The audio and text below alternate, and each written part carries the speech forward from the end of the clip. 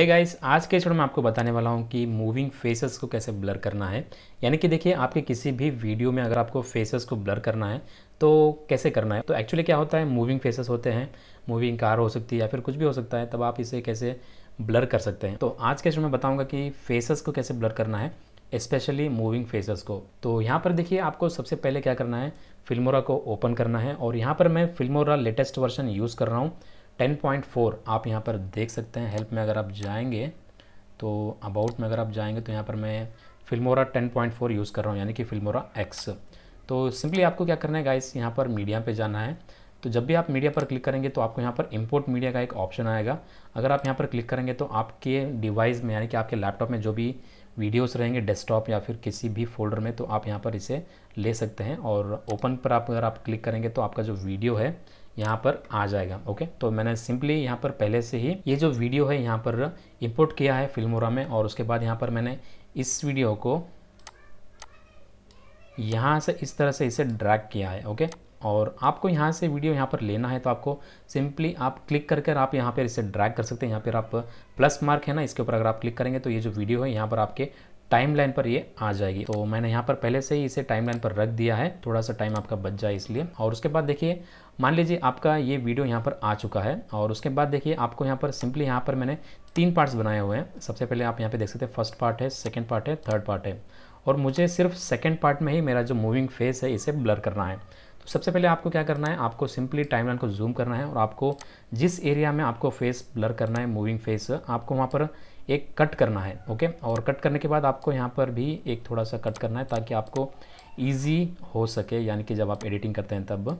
और यहाँ पर एक मैंने कट किया है ओके तो टोटल यहाँ पर मैंने दो जगह पर कट किया है और इस पार्ट को सेपरेट किया है। उसके बाद आपको सिंपली क्या करना है? और एक बात मैं आपको बताना चाहूँगा आपको इस तरह से कट करने की ज़रूरत नहीं है बट uh, मैंने जस्ट आपको रेफरेंस यानी कि आपको बताने के लिए आपको थोड़ा सा जल्दी से समझ आए इसलिए मैंने इसे कट किया है। आप बिना कट किए भी आप फेसेस को आप ब्लर कर सकते हैं। तो उसके बाद देखिए आपको क्या करना है? सिंपली यहाँ पर इफेक्ट्स में जाना है।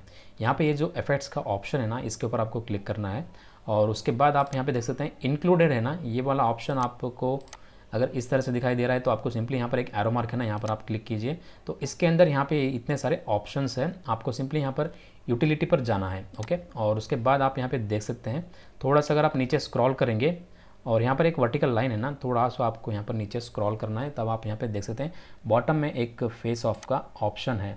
तो आपको सिंपली यहाँ पर क्या करना है, इसके ऊपर अगर आप क्लिक करेंगे तो ऑटोमेटिकली यहाँ पर आ जाएगा। अगर आपको मान लीजिए तो ये कहीं पर भी आ जाएगा और आपको मान लीजिए ये सिंपली अगर आप क्लिक करके यहाँ पर ड्रैग करेंगे तो यहाँ पर आ जाएगा ईजीली और यहाँ पर थोड़ा सा जूम कर लेते हैं और अभी मान लीजिए देखिए आपको यहाँ पर ये वर्टिकल लाइन है ना, यहाँ पर ये आकर मैंने इसे सेट कर दिया है। तो यहाँ पर ये जो ब्लू लाइन आ रही है ना तो यहाँ पर ये सेट हो चुका है फ़र्स्ट कट पर और यहाँ पर यहाँ पर देख सकते हैं आप, थोड़ा सा गैप बचा हुआ है। तो यहाँ पर एक्चुअली कट मैंने यहाँ पर किया है और ये जो फेस ऑफ़ का जो ऑप्शन है ना, ये जो इफ़ेक्ट है सिर्फ़ यहाँ तक है और मुझे चाहिए ये पूरा एंडिंग तक। तो सिंपली आपको क्या करना है, इसके ऊपर आपको क्लिक करके होल्ड करके रखना है और उसके बाद थोड़ा सा अगर आप यहाँ पर ड्रैग करेंगे तो ये यहाँ तक आ जाएगा और जब ये वर्टिकल ब्लू लाइन आएगा ना, तब इस आपको अपना जो माउस का बटन है, उसे रिलीज़ करना है।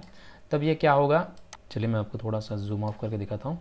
अब आप यहाँ पे देख सकते हैं ये जो पार्ट है नीचे का, इसके ऊपर ये जो फेस ऑफ़ का ऑप्शन है, ये पूरी तरह से स्टार्टिंग से एंडिंग तक आ चुका है ओके गाइस आपको और एक बात का ध्यान रखना है, जब भी आपको फेस ऑफ़ करना है ब्लर करना है, कुछ भी करना है तो आपको अपना जो वीडियो है, ये बॉटम में होना चाहिए और इसके ऊपर आपको फेस ऑफ़ का जो ऑप्शन है, इसे ऐड करना है ओके अगर आप इसे इसके नीचे करेंगे तो आपका जो इफ़ेक्ट है, वो ठीक से काम नहीं करेगा। तो चलिए अभी प्ले करके देखते हैं कि कैसे डर लग रहा है हमारा, ये ओके तो यहाँ पर आप देख सकते हैं ऑटोमेटिकली ये जो फेसेस है, ये ब्लर कर देगा। आपको यहाँ पर फिर से उसे ट्रैक करने की मोशन ट्रैक करने की कुछ भी ज़रूरत नहीं है। ऑटोमेटिकली ये जो ऑप्शन है, क्या करेगा? आपका फेस जो है वो डिटेक्ट करेगा और उसके बाद आपका जो फेस है, इसे ये ब्लर कर देगा ओके और उसके बाद देखिए ये जो फेस ऑफ़ का ऑप्शन है ना, इसके ऊपर आपको डबल क्लिक करना है और उसके बाद आपको यहाँ पर एक नया वाला विंडो ओपन होगा, आप यहाँ पर देख सकते हैं। अगर आप चाहें तो यहाँ पर एमोजिस वगैरह भी आप यहाँ पर डाल सकते हैं। जस्ट आपको इसके ऊपर डबल क्लिक करना है, यहाँ पर ये जो एमोजी है, यहाँ पर आ जाएगा। और उसके बाद गाइस आप प्ले करके यहाँ पर देख सकते हैं। तो इस तरह से आप मूविंग फेसेस को आप एमोजीज वगैरह लगा सकते हैं फेस ब्लर कर सकते हैं। तो फेस ब्लर का ऑप्शन यहाँ पर स्टार्टिंग में है और यहाँ पर कई सारे एमोजीज है, आप इसे भी यूज़ कर सकते हैं। तो उम्मीद करता हूँ आपको समझ में आ चुका होगा कि मूविंग फेसेस को कैसे ब्लर करना है किसी भी वीडियो में। तो अगर आपको कुछ डाउट है तो आप मुझे नीचे कमेंट कर कर आप मुझे पूछ सकते हैं। ये फिल्मोरा का सेकेंड वीडियो था ट्यूटोरियल का और ऐसे वीडियोज़ देखने के लिए चैनल को आप सब्सक्राइब कर सकते हैं। अगर वीडियो पसंद आए तो वीडियो को एक लाइक ज़रूर करना। तो चलिए मिलता है अगली वीडियो में, तब तक के लिए बाय